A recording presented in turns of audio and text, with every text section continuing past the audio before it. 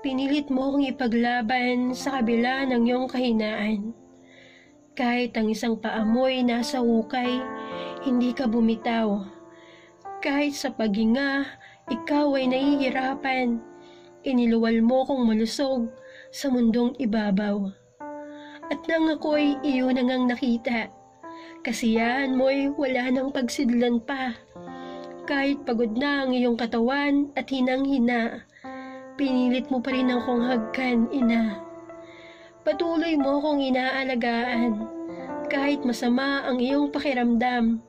Babangon ka kahit tulog mo'y ilang saglit pa lamang. Huwag lamang sa kaiiyak, ako'y kabagan. At sa gutom ay sakitan ng tiyan.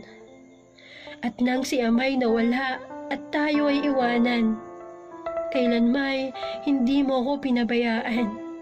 Nagtrabaho ka upang ako'y mapag-aral. Kahit pagod, patuloy mo akong pinagsisilbihan. Kahit ikay hirap, luho ko'y iyong ibinigay.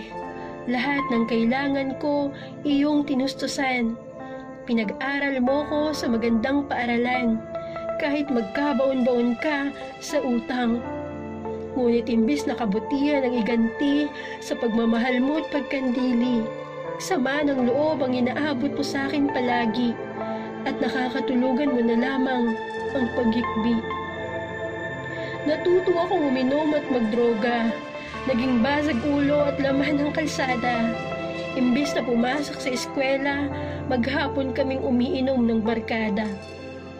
Ngunit sa lahat ng ginagawa kong kamalian, hindi mo ako sinumpatan. Bagkos, inunawa mo ko at pinahal, kahit sukdulan na ang aking kasamaan. Lahat ng gamit na iyong pinundar, ninakaw ko at pinagbili lamang upang patuloy kong matustusan ang bisyo ko at kalayawan. Nang wala na akong may bentang gamit sa bahay, natuto ako mang-hold up sa daan. Nang bibiktima na mawalang kalaban-laban ng bisyo ko'y matugunan. Isang gabing napakalakas ang ulan habang naghihintay ng tatambangan. May babaeng nakapayong mong dumaan. Dali-dali ko tong sa likod nilapitan. Pera mo sa akin ay yung ibigay. Nang sa bahay niyo'y makauwi ka ng buhay. Huwag na tayong magpilitan. Huwag mo na akong pahirapan. Sagot niya hindi maaari. Para sa aking anak ang aking salapi. Patawad at pagbigyan mo na lamang ako ngayong gabi. Tiyak naghihintay na ang aking anak sa aking pag-uwi. Galit ang aking tanging pinag-iral dahil nais ko'y hindi niya ibinigay. Kaya dali-dali ko siyang inundayan ng napakaraming saksak sa katawan.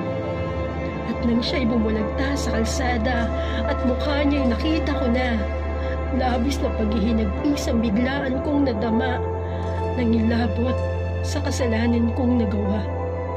Unang beses akong nakapatay, kaya hindi ko to mapagwalaan. Bakit sa dinami-raming maaring dumaan? Bakit ikaw pa aking inay? Kasalanan ko ay hindi ko tinakbuhan.